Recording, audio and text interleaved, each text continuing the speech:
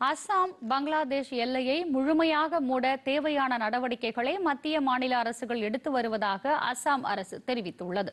பங்களாதேஷ் நாட்டில் கலவரம் வெடித்ததை அடுத்து அங்குள்ள மக்கள் இந்தியாவிற்குள் நுழைய முயன்று வருகின்றனர். அவர்களை தடுத்து நிறுத்தும் பணியில் எல்லை பாதுகாப்பு படை வீரர்கள் ஈடுபட்டுள்ளனர்.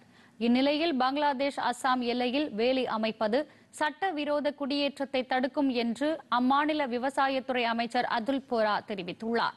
இதுகுறித்து அம்மாநில சட்டப்பேரவையில் பேசிய அமைச்சர் இன்னும் நான்கு புள்ளி மூன்று ஐந்து கிலோமீட்டர் தூரம் எல்லையில் வேலி அமைக்கும் பணி முழுமையாக நிறைவடையவில்லை என்றார். சில பகுதிகளில் வேலி அமைப்பதில் உள்ள பிரச்சினைகளை பங்களாதேஷ் எல்லை காவல் படையினர் எழுப்பி உள்ளதாகவும் அமைச்சர் குறிப்பிட்டுள்ளார்.